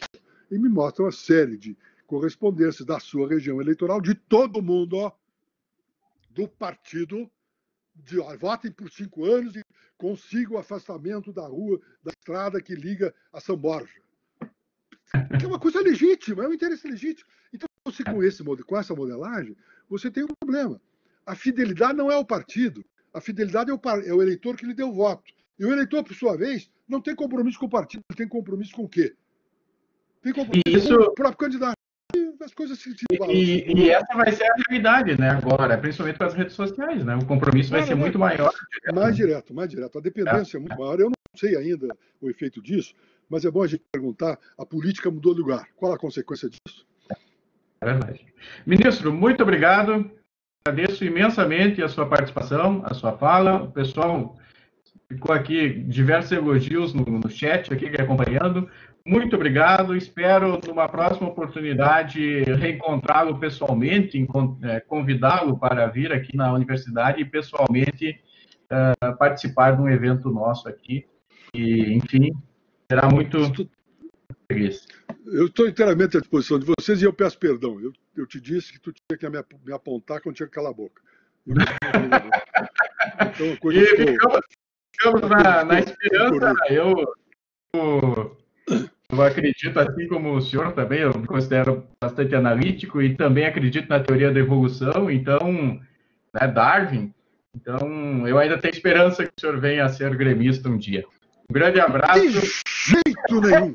De jeito nenhum. A esperança é minha que você torne colorado. Um abraço a vocês todos. Um abraço. E desculpe as brincadeiras. Um abraço. Um abraço. Até a próxima. Até a próxima.